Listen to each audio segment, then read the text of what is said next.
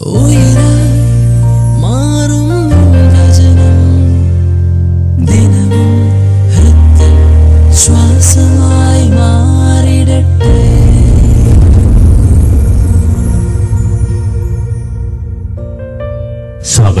ഉയരി വചനത്തിലേക്ക്. ഇന്ന് നമുക്ക് ഉരുവിടുവാനുള്ള വചനം. സദൃശവാക്യങ്ങളുടെ പുസ്തകം പതിനഞ്ചാം അധ്യായം നാലാം വാക്യം. നാവിന്റെ ശാന്തത ജീവവൃക്ഷം. അതിന്റെ വക്രതയോ മനോവ്യസനം നമുക്ക് ഈ വചനം ഒരിക്കൽ കൂടി ചേർന്ന് പറയാം. നാവിന്റെ ശാന്തത ജീവവൃക്ഷം അതിന്റെ വക്രതയോ മനോവ്യസനം.